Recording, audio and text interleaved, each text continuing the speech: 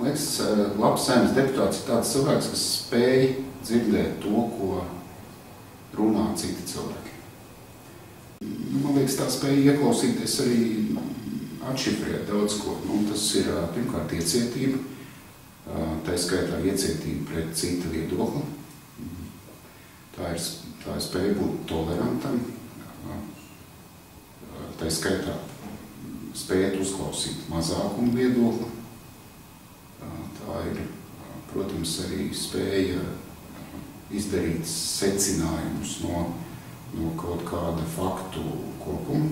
Ir vajadzīga cilvēku uzticība, lai cik, lai cik profesionāls vai kompetents nebūtu katrs saimnes deputāts, bet tas, kas viņam ir obligāti vajadzīgs, ir spēja sarunāties ar cilvēkiem, ieklausīties un arī panākt, ka viņi uzticās. Nu, tā, tas tas grūtākais, manuprāt, tas pēdējais, tas grūtākais šobrīd pašreizējā politiskajā situācijā, kad cilvēki vienkārši netic politiķi.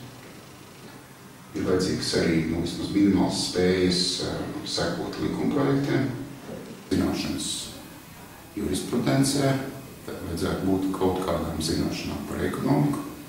Un, protams, vajadzētu arī specifiski pārzināt kādu no tautsarniecības nozarē, vai tā būtu veselība, vai izglītība, vai tā būtu kultūra, vai valsts pārvalde. Kā jūs nodrošināsiet, lai kandidāti jūsu sarakstā atbilstu visiem šiem kritērijiem, ko jūs iepriekš minējāt? Mēs to esam nodrošinājuši. Mēs esam iekļāvuši mūsu sarakstā, nu, es runāju šeit par salīdzītai politikai, tikai tos cilvēkus, kas visām šīm īpašībām atbilst.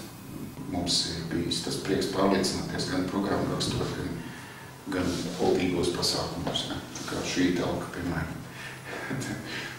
es, es esmu droši, ka viņi ir gan godīgi, gan kompetenti, gan spēj ieklausīties.